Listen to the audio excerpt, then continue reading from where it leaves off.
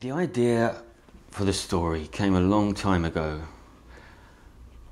Actually, you know, I can pinpoint it to a particular morning in 1987 when there was, the night before, there'd been a huge storm.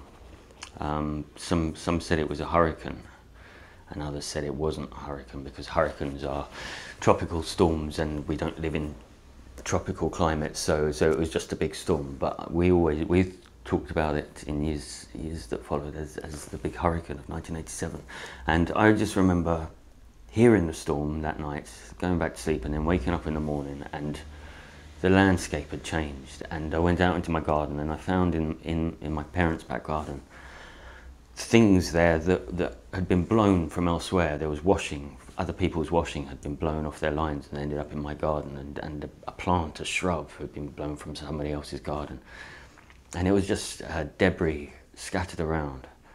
And, uh, and it was then I saw something in my fish pond which made me jump and, and I thought I thought there was a little person, a little figure floating in my pond, which then, of course, on closer inspection, turned out to be a Barbie doll that my sister had left on the lawn the night before and had blown into the pond.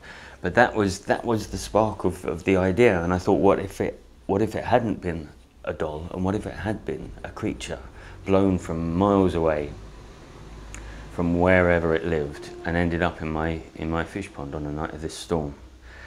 And that was it. That's all I had for years and years. And and I, I was fascinated by this idea of, uh, of something a creature that that science knew nothing about that had ended up in a in a in a suburban back garden and, and this boy finds it and he's the only one that knows about it.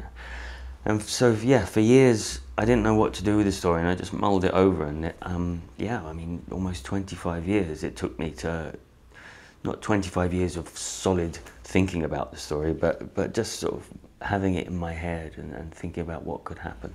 And and yes, I sort of slowly came up with this idea of this adventure that this boy, the um, the main character called Asa Brown, he goes off to try and find out what this creature is, was, where it came from, does anybody else know about them, and, uh, and are there any more still, still surviving? And so yes, that's, that's it. It's a very simple uh, premise for a story, but, um, but hopefully, you know, a nice little adventure.